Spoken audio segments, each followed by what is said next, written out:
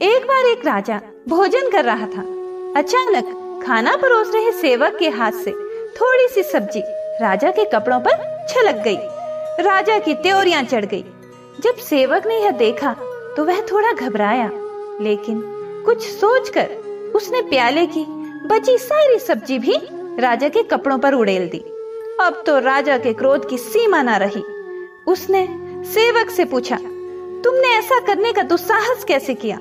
सेवक ने अत्यंत शांत भाव से उत्तर दिया, महाराज, पहले आपका गुस्सा देखकर मैंने समझ लिया था कि अब जान नहीं बचेगी, लेकिन फिर सोचा कि लोग कहेंगे कि राजा ने छोटी सी गलती पर एक बेगुनाह को मौत की सजा दे दी।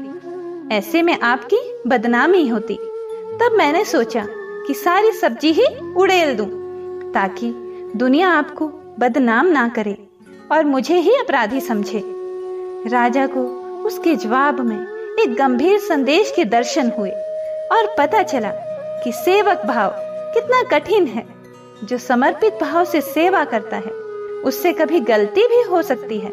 फिर चाहे वह सेवक हो, मित्र हो या परिवार का कोई भी सदस्य, ऐसे समर्पित लोगों की गलतियों पर नाराज़ न होकर उनके प्रेम व समर्पण का सम्मान करना चाहिए।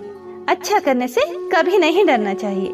सनातन धर्म से जुड़े रहने के लिए great M S voice channel को सब्सक्राइब ज़रूर कीजिएगा। जय श्री राम।